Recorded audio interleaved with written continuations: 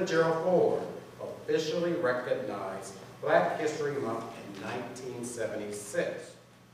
It isn't often that we have an, an artist in residence, but tonight we actually have an artist in residence in the city of Phoenix. And he's here tonight and we're talking, talking about Nicholas Murray. And one of the true unique things about him is that he is from the city of Phoenix, Arizona. Nicholas?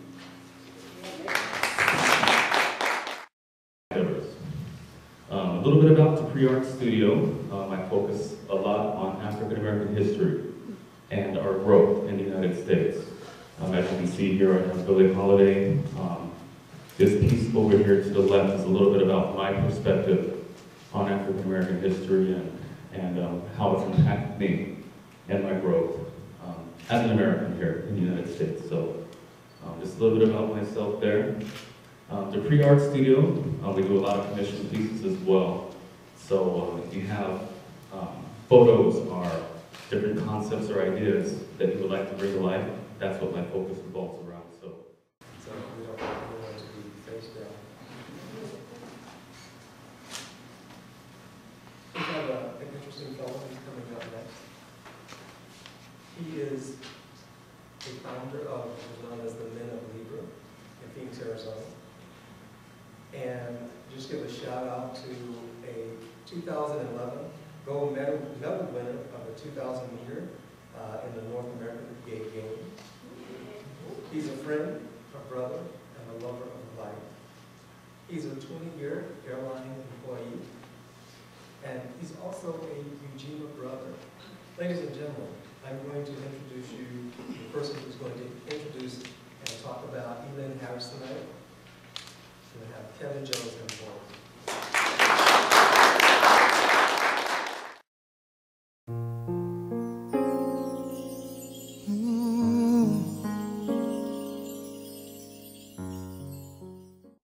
So for you tonight about Brother E. Lynn Harris. Everett E. Lynn Harris was born in Flint, Michigan on June 20, 1955. He was raised with three sisters in Little Rock, Arkansas. He attended the University of Arkansas at Fayetteville, where he was the school's first black yearbook editor. He was the first black male cheerleader and the president of his fraternity Alpha Phi Alpha. He graduated with honors with a degree from uh, Invisible Life. But before I do so, has anyone uh, here read Invisible Life? Show of hands. Anyone like to share maybe an experience after you first read this book? You are real shy. Well, I will tell you that I first read this probably 1994, 23 years old, about to be 24, living in Seattle, Washington. And this was like, unlike any other thing I ever read, I felt like I was reading my life story. I felt like everything that I was reading in this, you know, the college experience, the feelings of know, liking guys, I didn't really want anybody else to know. I like I was reading my story, and God help me if I wasn't looking for a bagel. I wasn't looking for a bagel. I found but I let that go. All right. Um, here's the passage I want to read. Uh, from uh, Invisible Life. There is something poetic about falling in love. The tingling sensation lingers like the lyrical words of a Langston Hughes poem. There is something romantic about the changing of seasons, or romantic reminiscent of an unending summer, or as one as fleeting as a spring and fall. Whenever I think back on lows, excuse me, the loves of my life, I'm often reminded. Sad to say, Ethan Harris passed away on July 23rd, 2009, at 54 years old in Los Angeles from heart disease. While one of the greatest authors of our generation has been silenced, his words will live on forever. Thanks.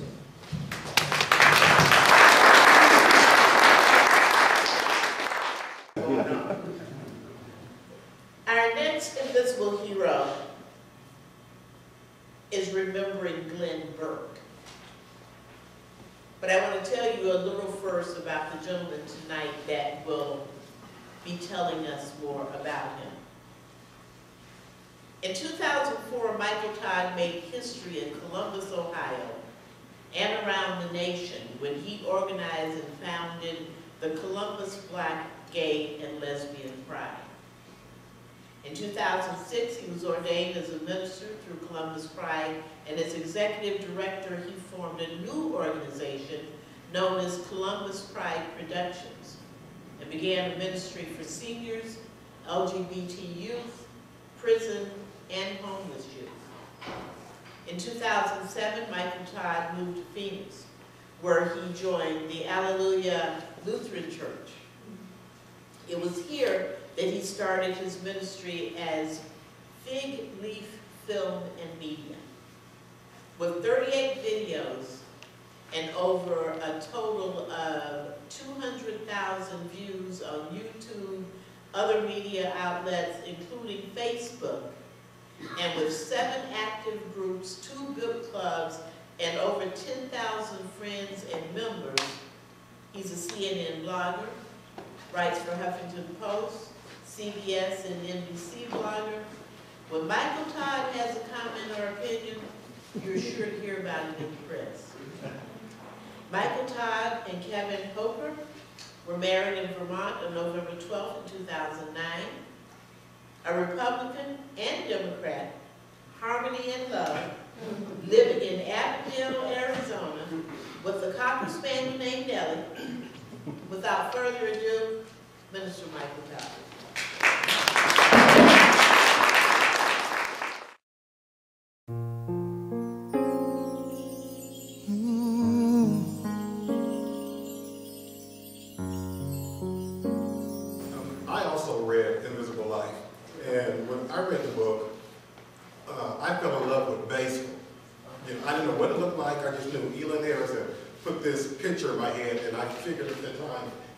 That that's somebody that I think I like, you know. And another thing about Elon Harrison, his books, his books were classy. You know, I consider his books to be the classy part of the, the gay books that were out. So I read his books, and then after I read his books, my mother was sitting over there in the back. She became a fan of Billy Harrison. She's read all his books. um, tonight, I'm going to be talking about Glenn Lawrence Burke. And I'm going to personalize it at the end because I had the opportunity to meet him when I lived in San Francisco. Um, Glenn was born in November on the 16th of 1952. Uh, he was a major league baseball player for the Los Angeles Dodgers and Oakland A's from 1976 to 1979. He was the first and only Major League Baseball player known to have been out to his teammates and the owners during his professional career. He was like a stereotype and it worked. Glenn ended up dying from AIDS in 1995. Okay, here comes the truth, what you guys have to personalize the story. When I first moved to San Francisco in the early part of 1980, I had just moved from Beverly Hills. And you said Beverly Hills, ooh, you lived in a mansion. No, I lived on Doheny, which was a little bungalow, you know, and there was nothing big, big, big and nice about it, just a little bungalow, Doheny, but it was Beverly Hills. So on my license, I had 714 Maple Street on my license in California, and 714 Maple Street, Beverly Hills. Does anybody know who lived at 714 Street, I mean, 714 Maple Street? My mother knows. That was Diana Ross's address. I was Diana Ross man. And so, you know, here I am, I'm in San Francisco, and I'm getting ready to go into this bar called the Pendulum. And this black guy is sitting at the door, and he's hurting people. And I had just turned 21. So, you know, I wasn't worried about, you know, getting carded and having the ID and stuff. So when I get up to the um, door, Glenn Burke is sitting there in the pendulum, and he said, um, see your ID. So I put him ID, I gave it to him, and he looked at it, and he looked at me. He said, go on inside, thing. And I, I said, what? You know, because back in Ohio, I'm from Columbus, Ohio, this thing, know, Miss Burke, we call each other, hey, Miss Thing, you know, just, it's a lingo, Miss Thing, how are you doing, you know? So he, he, Glenn always said, thing. He never put this one. Was always, this thing was thing. And so, um, I said, what did you say? He said, probably brother Coke. Now, he works there, he's card, you know, I kind of laugh, you know, I, this is my first time meeting him. I went on in the bar, had a good time, Sylvester was in there, the, the song about Do You Want to Funk, and it, it was just popping, you know. And living in San Francisco, was really a San Francisco treat. And so, um, I was there, I had a good time, I didn't think about buying land or drink, so I was walking out, there was two doors, one coming in, the other one went outside, was, is a pool table. How many people have been to San Francisco? Okay, so, I'm sure you guys know about the pendulum, my mother's even been in the pendulum, I took her in there. And so I walked outside, and I was had to walk past him, he's still sitting there, card people. He was like, where's my drink at? I said, I'll get you drink next time I see you. So the next time I seen Glenn Burke, he was bartending. He was, he was, he was a bartender now. And so, um, he was like, what's up, thing? I said, how you doing, thing? I was like, you know, he got me a drink. I sat there, and we started, we started a friendship. And the friendship and the bond that we had is that, you know, when I would see him out, he wasn't doing anything, we would stop, we would have lunch and stuff. And there was a couple times, you know, when Glenn, when he, when he became um, HIV positive, and he came down with AIDS, he wasn't doing that well. And he was the only person, he was around the same time Sylvester also was diagnosed with HIV. And so when I would see Glenn, you know, I would take him out to dinner, we would talk and stuff. And there was one time he came by, I had a studio, I lived on Buchanan Street. And he came by my apartment one time for dinner. It was right near New Year's, and I was making chitlins. and he came, he came by for dinner. And we sat there and we talked and stuff, and he was telling about the Oakland A's and um, what it meant to play for them and how they treated him wrong and what have you and stuff. And probably about maybe a month after that, Glenn's health got better and he started playing softball for the Pendulum. So here he was the multitasking again. He was the bouncer, he became a bartender, and then he became a, a baseball player, a softball player for the, the Pendulum. Well, during all that time, um, I kind of lost contact with him because what happened is that I also became active in the community. I started doing things. You know, uh, I didn't get saved until I turned 33. Even though I was brought up in the church, I didn't turn my life over to Christ until I turned 33 because I really didn't know what the detail and what it really meant. You know, I just knew that, you know, you, you say, you know, oh, I believe in God and I go to church every Sunday and I confess with my mouth and, you know, but before I really got it right and I realized what it was all about, it took me till I got 33 years old. I had lost a whole lot of people during the process. You know, Lynn was one of them, um, Sylvester was one of them, and tons of friends. But I can say one thing about Glenn, he lived his life, he got along with everybody, he wasn't one of those bitter people, he didn't get bitter at the end of his life, and everybody that I knew who knew him in San Francisco, you know, they, they cherished his friendship. And when you guys came to me and you asked me, you know, when I, when I talk about Glenn Burke, it touched me because I had the pleasure of my lifetime to be somebody that was such a good person and such a good multitasker. Thank you.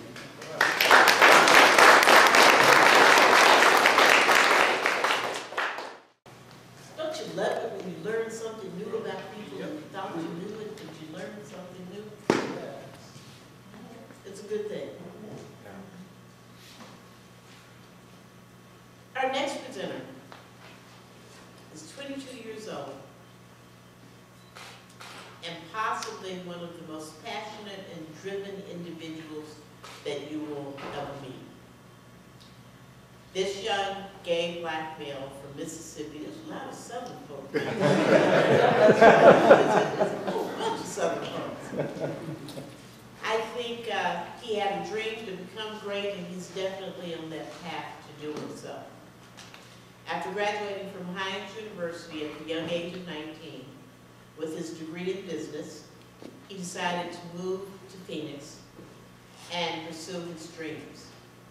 Just to name a few of his many accomplishments, he's worked as a photographer and videographer for the high fashion company of Ford Robert Black through a major internship, and he's gone on to working in front of the camera and behind the scenes in a plethora of films and commercials.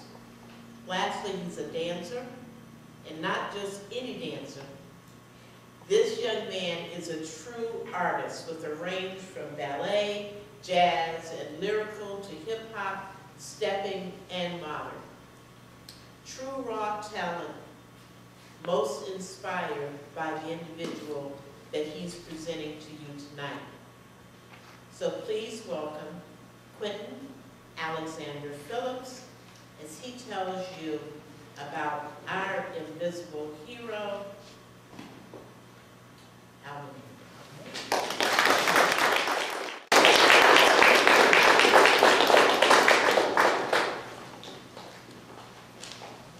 I wore my dance shoes. Get into it. I am so honored. I, I just to start with saying I am so honored to be presenting Alvin Ailey. Um, I'm so nervous, by the way. Um, talk about inspirational. Talk about has has been in my heart my entire life. Um, just a, a little brief info. When I was in, in third grade, I remember, oh, it was either second or third grade, I remember going to the music hall and um, I was just ready to get my sing on and like, that day we didn't do that. That day there was a TV in there and we all had to sit down and, and uh, they, they put in a video and it was Alvin Ailey. And literally, my my passion for dance, like it, has been in me for like ever, but my passion for dance went from a 60 to um, 100,000 million and beyond. It's instant success and defined Ailey's style. For his signature work, Revelations, Ailey drew upon his blood memory of Texas, the blues, spirituals, and gospel. These forces resulted in creations of his most popular and critical acclaimed work. Ailey originally intended the dance to be the second part of a larger evening length, evening length survey of African American music, which he began with Blues Suite. Though Ailey created 79 works for his dancers, he maintained that his company was not merely a showcase for his own work. Alvin died on December 1st, 1989, at the age of 58. Today, the company continues Ailey's vision by performing important works from the past and commissioning new additions to the repertoire. To the repertoire. In all, more than 200 works by over 70 choreographers have been performed by the company. This man is beyond amazing. This man is beyond inspiring. He is definitely a star. Thank you for having me.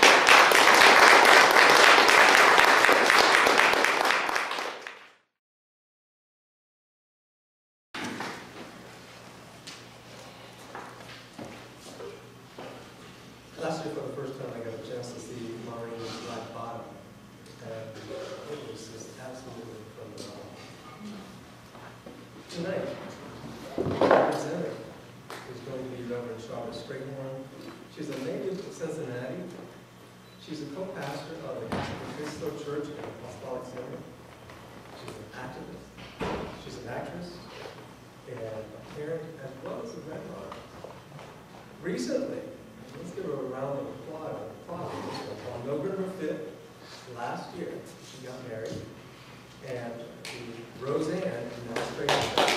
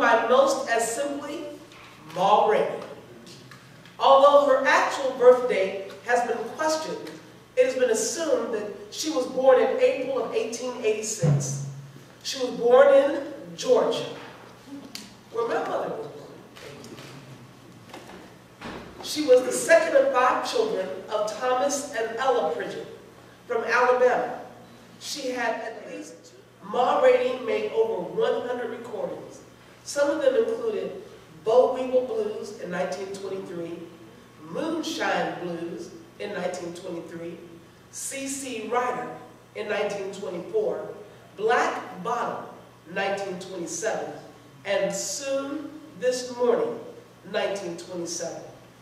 She was known for her very powerful vocal abilities, energetic disposition, majestic phrasing, and a moaning style of singing, similar to that of folk tradition. Though her powerful voice and disposition are not captured on her recordings, the most characteristic, the other characteristics are present and most evident on her early recordings, Boll Weevil Blues and Moonshine Blues. Ma Rainey also recorded with Louis Armstrong, in addition to touring and recording with the Georgia Jazz Band. Ma Rainey continued to tour until 1935, when she retired to her hometown. Around this time, Rainey met Bessie Smith, a young blues singer who was also making a name for herself. This was during the height of the Harlem Renaissance. Though rarely identified as homosexual, same-sex relationships were fluid during this time. Men and women were expected to marry, but in their circle, performers such as Bessie Smith, the empress of the blues, Ma Rainey, the mother of the blues, Alberta Hunter, Jackie Moms Mabley, Josephine Baker, and Ethel Waters, all cultivated a lesbian or bisexual image. Now you talk about some women. Lord help. Wild women don't get the blues. For female jazz and blues singers, being attracted to another woman was chic. According to the book, Making Gay History by Mark, by Eric Marcus, Ma Rainey several times was in trouble with the law for her lesbian behavior. In 1925, she was arrested for taking part in an orgy at home involving women in her chorus. Bessie Smith bailed her out of jail. Ma Rainey's album, Prove to Me Blues, a monologue about women who love women, showed reference of a woman in appearance to Rainey, in a hat, tie, and jacket, talking to a flapper. In the distance, a policeman observes, stands in observation. The copy reads, What's all this? Scandal. To look at the words, the song goes, Went out last night, a crowd of my friends. They must have been women, because I don't like no men. they say I do it. Ain't nobody caught me. They sure got to prove it to me. Towards the end of the 1920s, live vaudeville went into decline, being replaced by radio and recordings. Rainey's career was not immediately affected.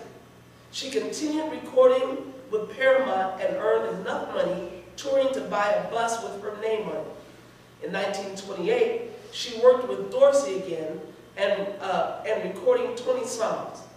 Before Paramount finished her contract, her style of the blues was no longer considered fashionable by the label.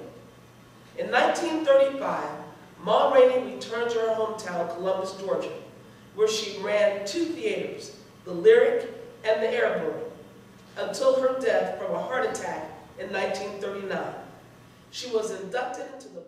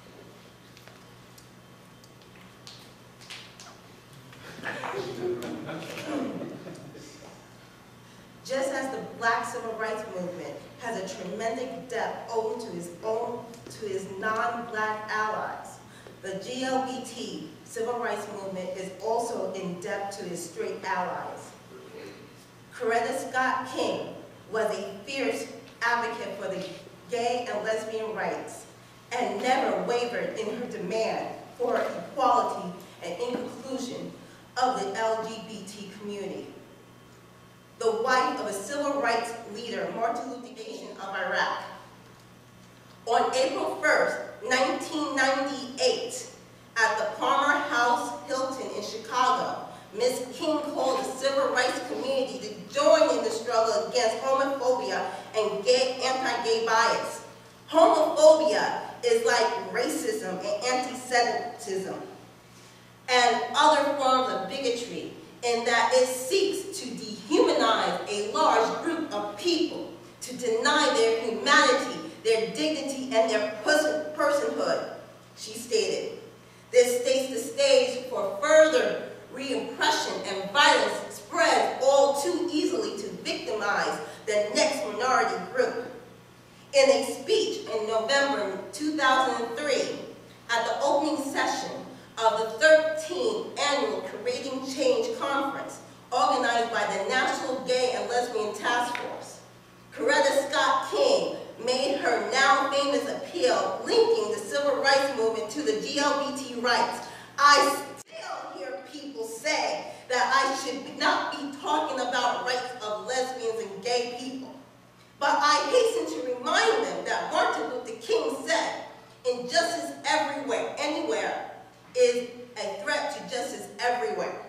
I mm-hmm. appeal to everyone who believes in Martin Luther King Jr.'s dream to make room at the table for a brotherhood and sisterhood for lesbian gay people. Coretta Scott King supported the GLBT rights was strongly criticized by the African American pastors. She called her critics misinformed and said that Martin Luther King's message to the world was one of equality and inclusion.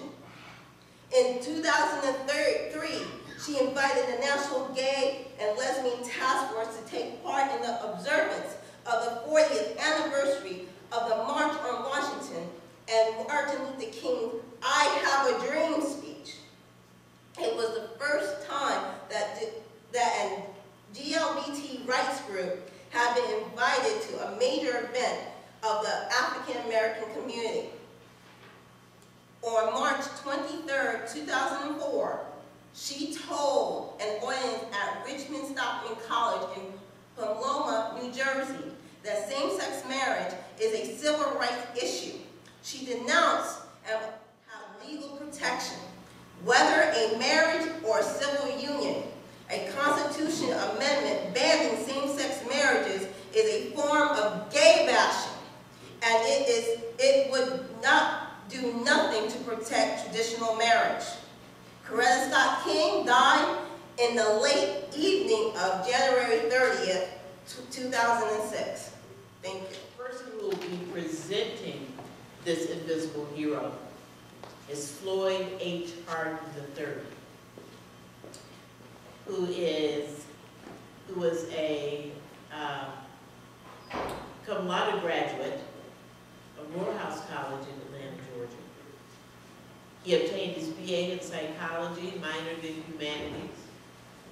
He is one of nine Morehouse graduates to complete his program in only three years.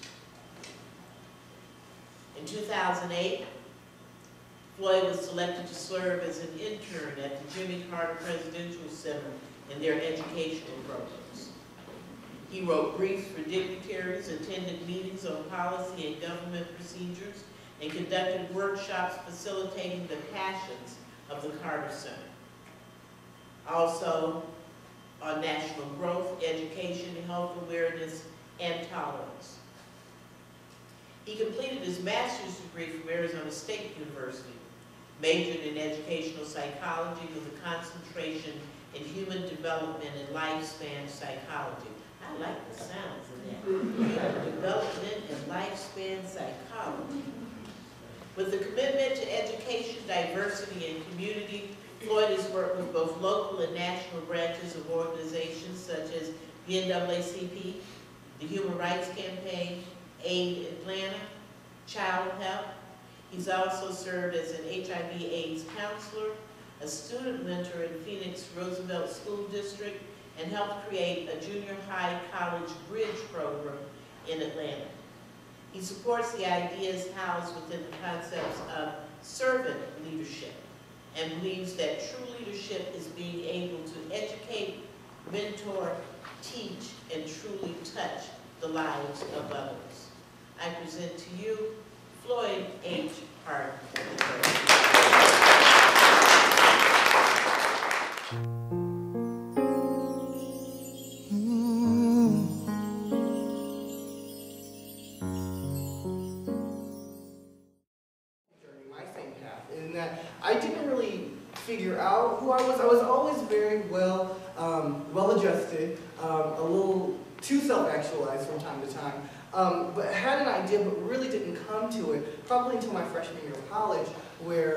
Actually went to Atlanta and went to Morehouse and really began to explore that. Um, and when I talked to my family, they were like, baby, we knew.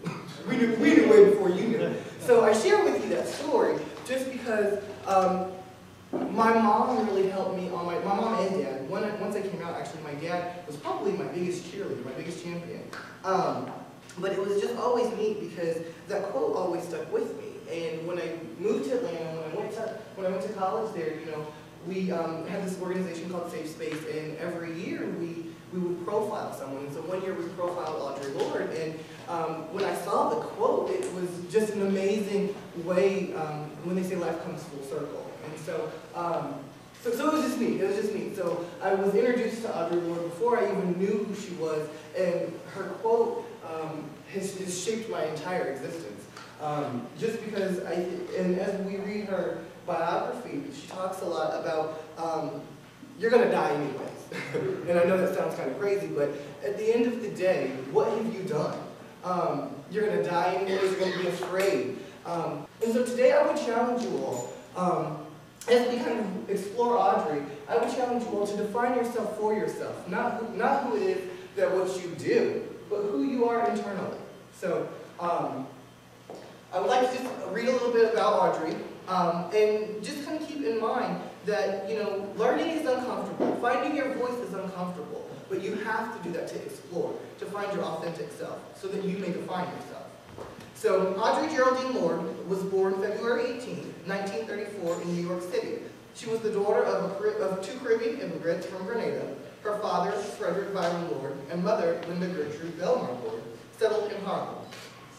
After graduating from Hunter College High School and experiencing grief after the death of her best friend, Jenny Thompson, Lorde immediately left her parents' home and became estranged from her family. She attended Hunter College from 1954 to 1959.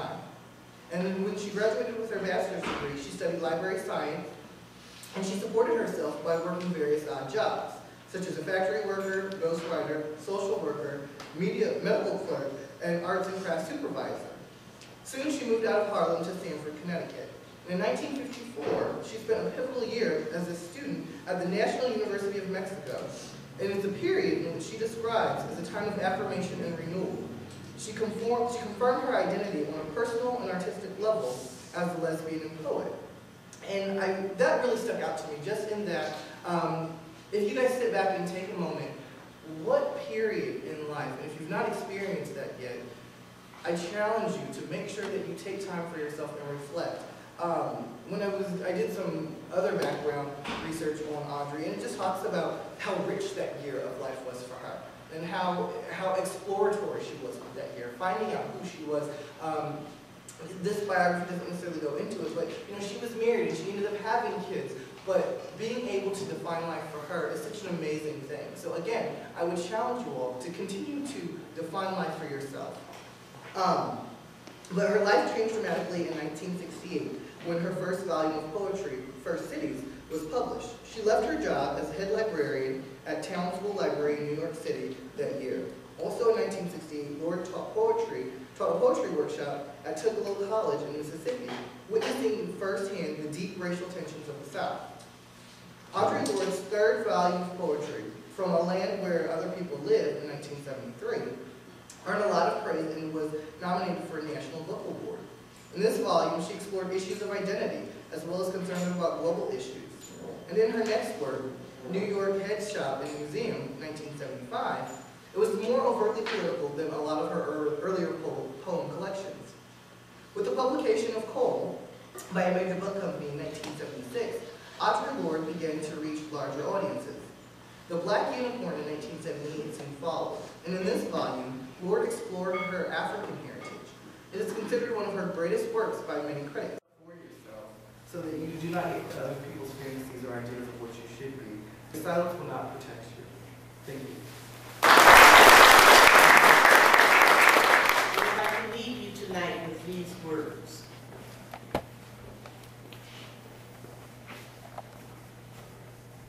Boots are being polished, trumpeters clean their horns, chains and locks forged, the crusade has begun. Once again, flags of Christ are unfurled in the dawn, and cries of soul saviors sing apocalyptic on airwaves.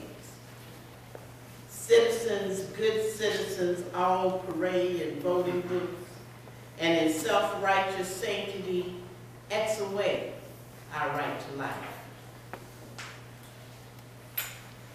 I do not believe as some that the vote is an end. I fear even more it is just a beginning.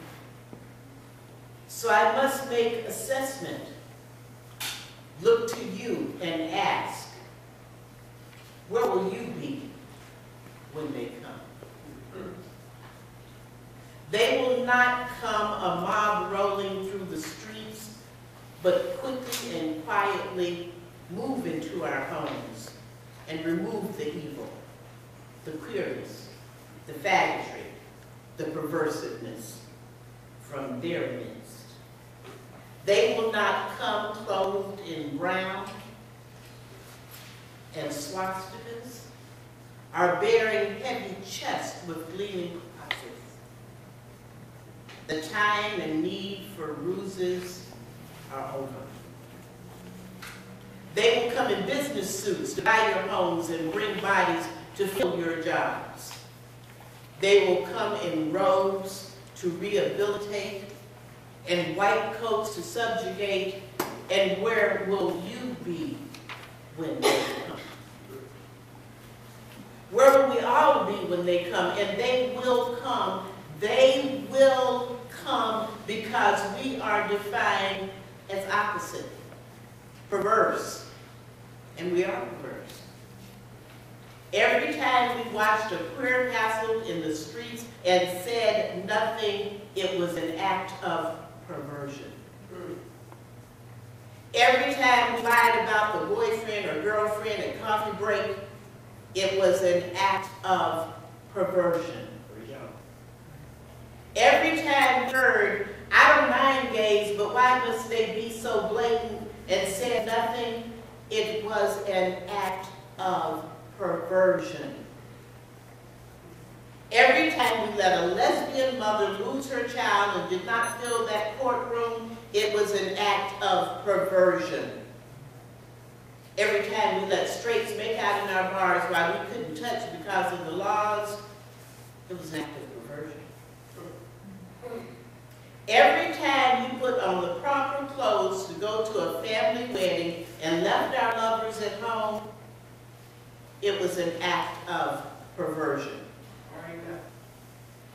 Every time we heard, who I go to bed with is my personal choice, it's personal, not political, and said nothing, it was an act of perversion.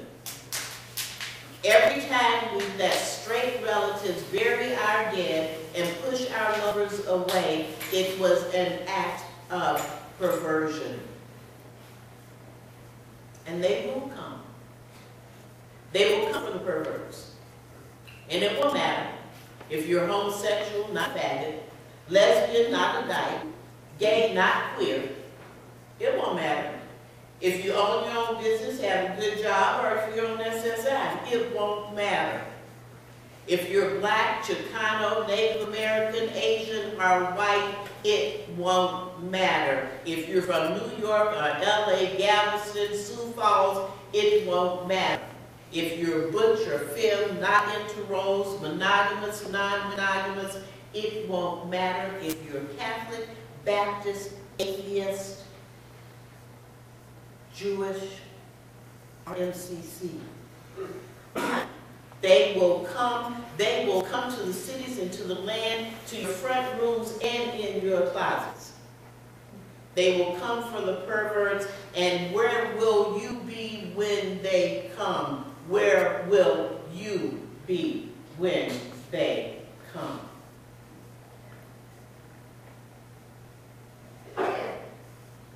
Thank you. Good